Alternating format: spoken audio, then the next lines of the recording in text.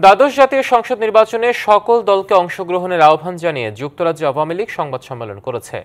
London থেকে জুবাইর আহমদ জানান শুক্রবার লন্ডন বাংলা প্রেস ক্লাব মিলনায়তনে আয়োজিত সংবাদ সম্মেলনে আহ্বান জানানো হয়। সাংবাদিকদের বিভিন্ন প্রশ্নের উত্তর দেন যুক্তরাজ্য আওয়ামী লীগের সভাপতি সুলতান মাহমুদ শরীফ, ভারপ্রাপ্ত সাধারণ সম্পাদক নইমুদ্দিন রিয়াদ সহ সভা- সভাপতি জালাল উদ্দিন, সাংগঠনিক সম্পাদক আব্দুল আহাদ চৌধুরী, দপ্তর সম্পাদক শাহ শামীম মাহমুদ যুব ও ক্রীড়া সম্পাদক তারিফ আহমদ। নগদ অ্যাকাউন্ট খুলে নিজ নাম্বারে প্রথমবার রিচার্জে দশ টাকা ক্যাশব্যাক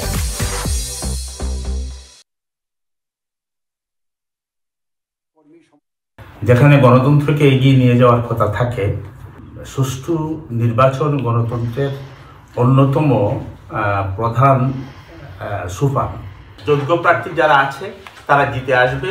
যারা অযোগ্য, তারা পরাজিত হবে।